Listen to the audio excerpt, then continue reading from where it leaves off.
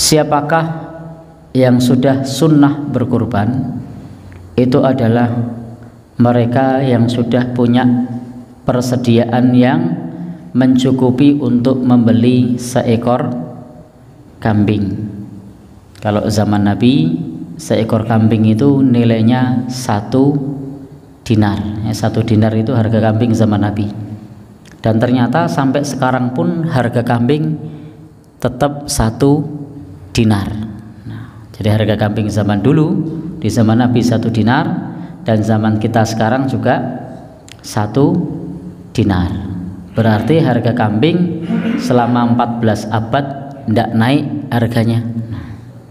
Karena tetap satu dinar dengan satuan hitungan emas. Tetapi kalau bapak ibu ngitungnya pakai rupiah itu munggah munggahi umum naiknya harga itu betul-betul tampak. Karena dinar itu 4 seperempat gram emas. Jadi 4 seperempat gram emas di zaman Nabi dapat satu ekor kambing. Sekarang juga 4 seperempat gram emas di zaman kita juga dapat satu ekor kambing. Sekarang kalau kita ngitungnya pakai rupiah, tidak usah 14 abad. Abad ini saja. Kambing di zaman bapak ibu ketika masih kecil harganya berapa? Ya, satu seket satu seket apa? Ya, saya pernah diceritani Mbah Buyut pada saat itu tahun 60-an sekian atau 50-an sekian lupa saya. Saya hanya diceritani. Ketika itu nilai mata uang anjlok dan harga seekor sapi itu 7000 rupiah. Entah itu tahun berapa. Artinya masih abad ini. Saya tidak ingat betul cerita Mbah Buyut dulu. Jadi 7000 rupiah dapat sapi. Sekarang 7000 rupiah dapat bakso sapi buatan buatan gitu enggak dapat. Ya baru kaldunya saja. Ya berarti kan harganya naiknya sangat banyak signifikan. Termasuk kambing waktu itu harganya masih sangat murah. Saya tidak ingat betul tahun berapa itu pak ada yang ingat yang harga pada saat itu e, mata uang apa nilainya turun sehingga harga-harga juga tidak stabil Mungkin yang kasepuan masih ingat. Ya? 78 apa? Oh ya. 78 sapi di bawah Oh ya, 100 ribu. Berarti sampai sekarang fluk apa? Fluk inflasinya berapa itu? Iya. Kalau kambing berapa Pak waktu itu?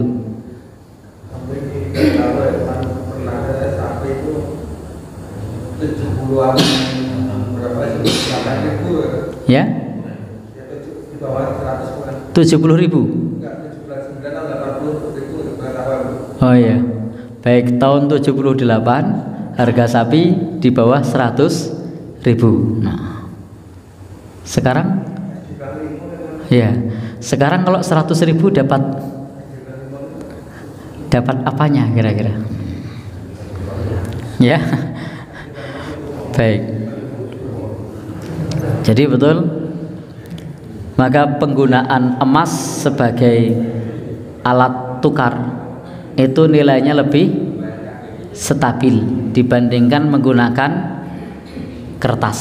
Nah, ya dibandingkan menggunakan kertas. Karena ternyata kalau menurut keterangan Bapak tadi tahun berapa? 70-an 8 harga sapi di bawah 100 ribu. Nah ya di bawah 100 ribu. Sekarang 100 ribu pedet dapat enggak? enggak dapat? Baik ternyata pedetnya saja enggak enggak dapat. Ya inflasi. Maka di dalam Islam dulu alat tukar yang dipakai adalah emas dan perak.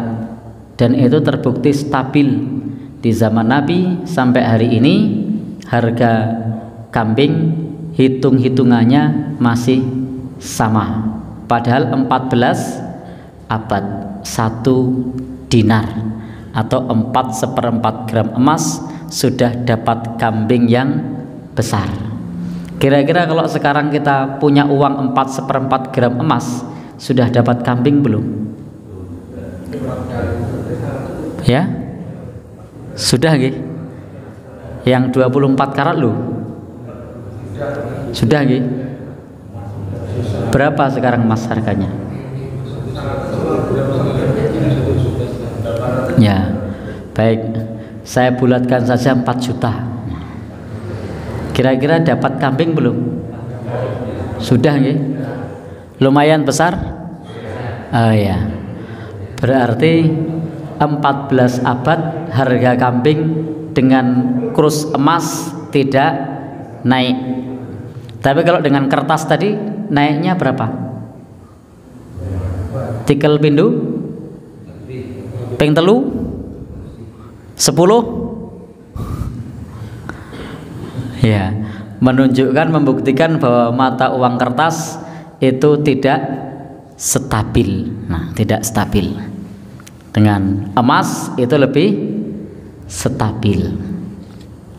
Baik meskipun topik kita korban uh, Allah ini mengingatkan kepada kita bahwa penggunaan emas sebagai mata uang itu patut untuk kita renungkan meskipun kita bukan penguasa bahwa itu lebih stabil.